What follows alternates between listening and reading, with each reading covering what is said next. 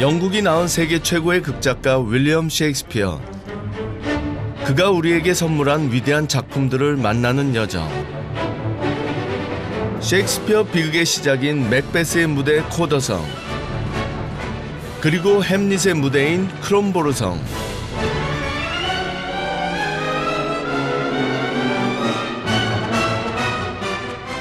영원한 사랑의 고전, 로미오와 줄리엣의 도시 이탈리아의 베로나. 그리고 베니스 상인의 도시인 베네치아까지. 셰익스피어, 그가 남긴 불후의 명작이 있는 곳으로 지금 떠납니다.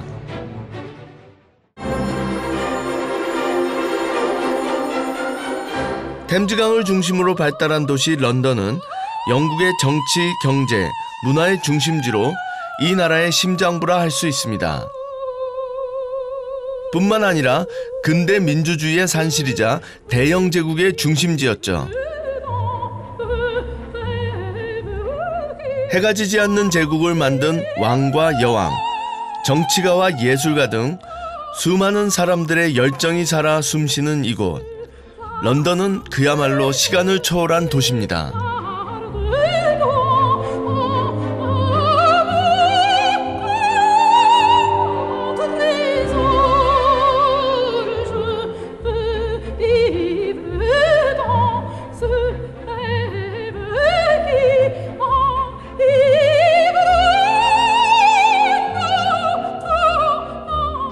과거와 현재가 공존하는 이 도시엔 셰익스피어의 숨결을 오롯이 간직하고 있는 곳이 있습니다.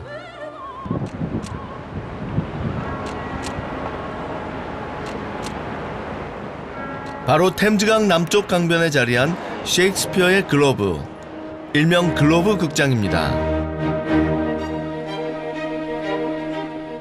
이 원형 건물은 셰익스피어가 활동했던 16세기 엘리자베스 시대의 글로브 극장을 재현해 놓은 곳이죠. 옛 방식 그대로 쇠못 대신 참나무 못만 사용해 지었는데 특히 초가 지붕이 인상적입니다. 당시에는 조명이 없었기 때문에 자연광 아래에서 공연을 즐기도록 지붕이 뚫려 있습니다.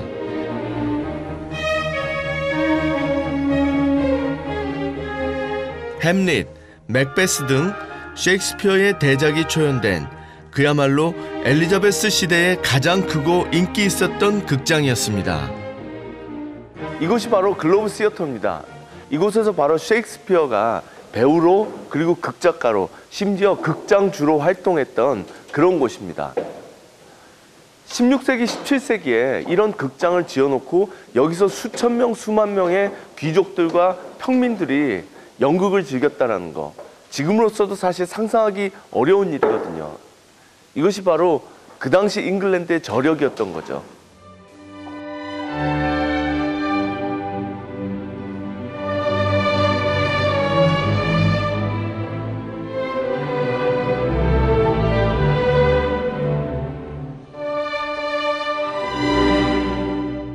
누구에게나 열린 공간이었던 이 극장은 사실 엘리자베스 여왕과 셰익스피어가 살았던 그 시대를 바라보는 또 다른 열쇠가 되죠.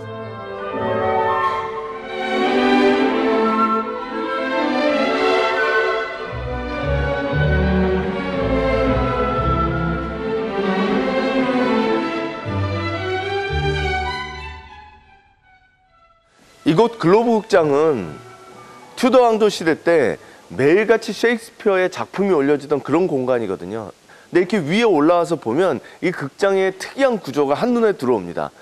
지금 제가 서 있는 곳은 앉아서 볼 수 있는 곳이거든요. 이곳은 바로 귀족들과 부르주아지들이 연극을 관람하던 곳이고요. 마당은 사실은 평민들이 이 입석으로 그러니까 싼 가격을 주고 연극을 보던 곳이거든요. 그러니까 이 극장은 이중 구도로 되어 있는 겁니다. 평민과 귀족이 같은 공간에서 셰익스피어의 수준 높은 작품들을 같이 관람을 했던 거죠. 그거는 그만큼 그 당시에 영국 사회가 오픈돼 있었고 계급 간의 어떤 갈등이라든지 격차가 많지 않았다라는 것을 보여주는 겁니다. 이 무대에 올랐을 그 환상적인 공연을 상상만 해도 흥분이 됩니다. Nick, never lay thy hand upon thy sword. I fear thee not. I say, thou hast belied my innocent child. Being bloodbound, 1997년 다시 복원의 문을 연 이 극장에선 매년 4월부터 10월까지 셰익스피어 작품은 물론이고 현대 작가들의 다양한 연극이 공연되고 있습니다.